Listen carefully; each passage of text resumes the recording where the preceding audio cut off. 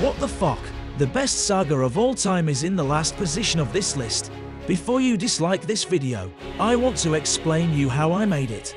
The rank is based on the average of all episodes of a saga, excluding fillers.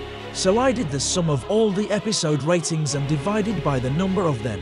In the Chimera Ant Arc case, it has 61 episodes that have a rating from 7 to 9.9, and the average is 8.2. That's why it's in the last position.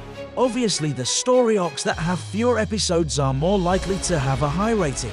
I hope I've explained myself well. Now enjoy the video.